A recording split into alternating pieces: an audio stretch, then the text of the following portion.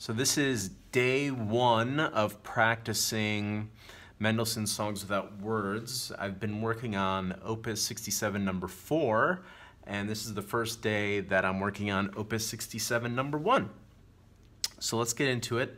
Um, now, my teacher John has already provided me a really good fingering, which certainly saves me a lot of time, and there's some good subdivisions um, between the two hands. Um, shifting some of the notes from the right hand into the left hand and vice versa.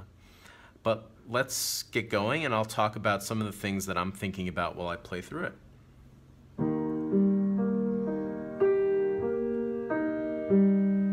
So in that first phrase, the left hand has this. And that actually is, you just have to be a little bit aware of getting not playing your three spread out while it's on the G. So I also want to make sure that as soon as I play the E flat, I'm moving over. Maybe delay it a second.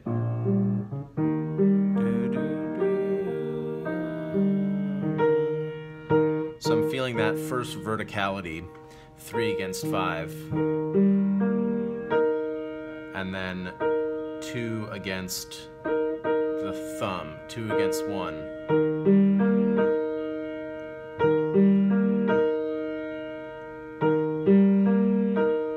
And now that I have those two, well, let's add the second part.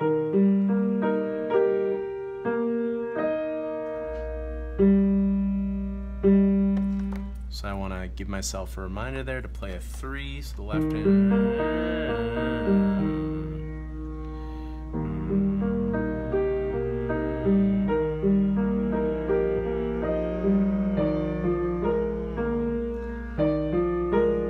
Now in the second measure, the right hand plays.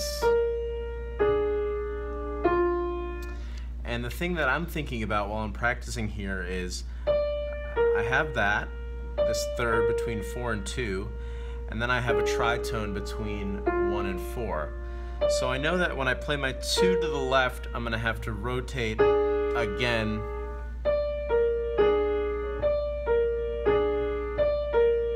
Intervals always rotate towards the thumb. So it's gonna be right, left, left, out. That's a little uh, tricky little part, the left hand. Four against four in the right hand, five in the left hand. And it's really important to make note when two of your fingers of the same fingers play together. So I'll make a note of that and feel that verticality. And then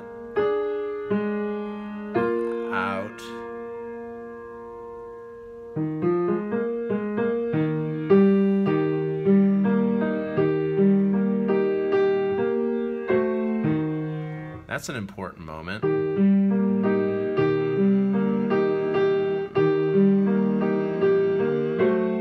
What's what I notice when I play that is my two is on E flat, and then the next time it plays, it needs to be on a one, a tritone away. So I'm gonna notice that I want to release the E flat, play my two here, and then have my one ready.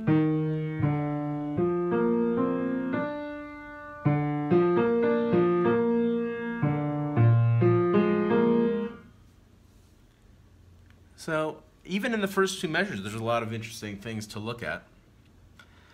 And these are just, the first day I try to keep the hands separate, just make note of interesting things that I want to keep track of. I'm not really trying to get a ton of it together. But I will try and get the first couple phrases.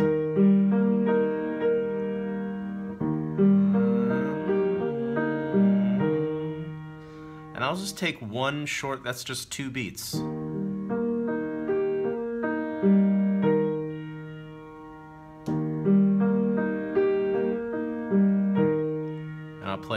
A, few times.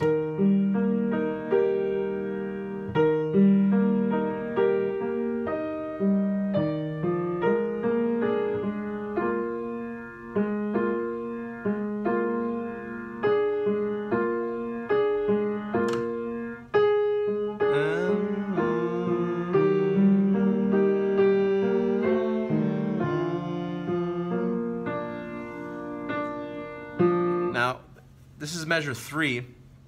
The left hand goes like that, and then the, I play a four, and then my one has to play on a B flat. So that's a big move between four, where I'm playing my one here, because I have this hand position, and then I need to be in this hand position. So I'm moving in there. This is measure three in the left hand. I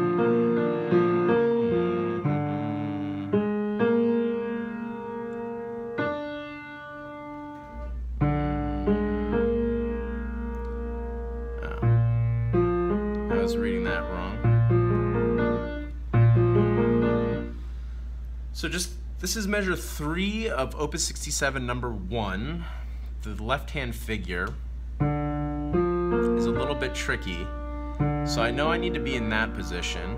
And then I play a four, B flat, three on D. So I'm covering a lot of ground. And what I'm noticing here is I'm moving into my four, and when I play my one, I immediately have to release the, the uh, I'm playing my four a little bit more in so my thumb can be on B flat, and then I play that, and I need to immediately release it so that my three can be in place to play the next note.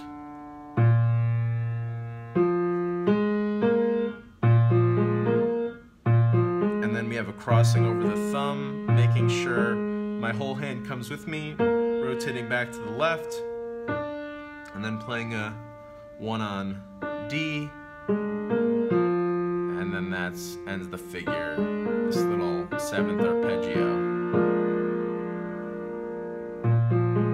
So sometimes I'll take a 16th note passage and break it down into shapes. So this is a kind of blocked chord. So that's the first chord that I'm doing. And then the second one is that. Then I do that. So that, that, then I'm here, then I'm there, then I'm there. And that's a really good way to start measuring out where your hand needs to be, is breaking it down like that.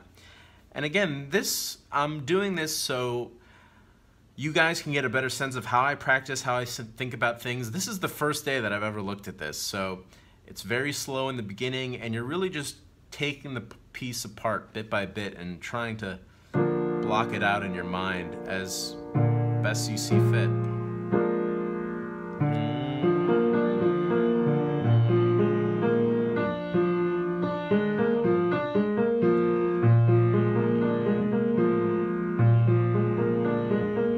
That figure happens twice.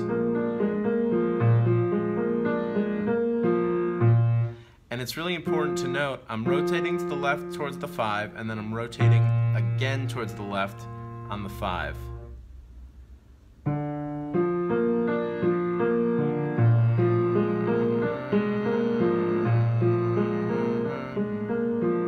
Left again.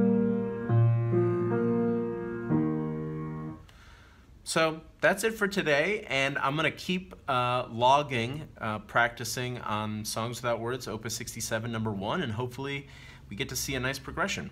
Thanks, guys.